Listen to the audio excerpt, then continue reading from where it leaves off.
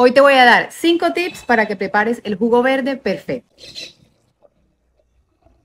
Primero, escoge un vegetal con mucho contenido de agua como el apio o el pepino. Segundo, escoge un vegetal desintoxicante como el cilantro o el brócoli.